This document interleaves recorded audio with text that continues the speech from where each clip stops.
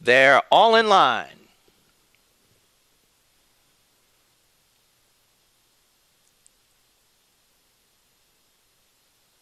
They're off.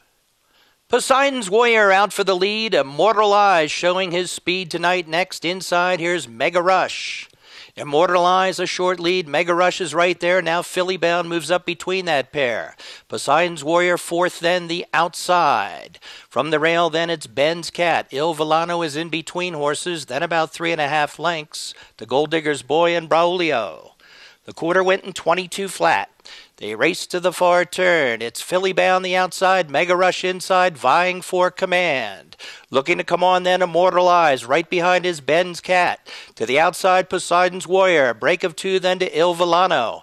He's followed then by Sloan Ranger with Braulio and Gold Digger's Boy now at the back.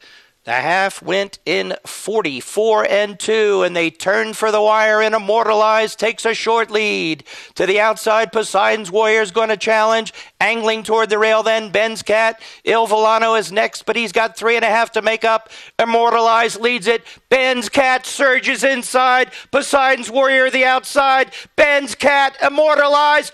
Ben's cat looks like he wanted a nose. A tight photo, Ben's cat, or Immortal Eyes. Poseidon's warrior got third, perhaps a photo for fourth in the inaugural running of the fabulous strike stakes.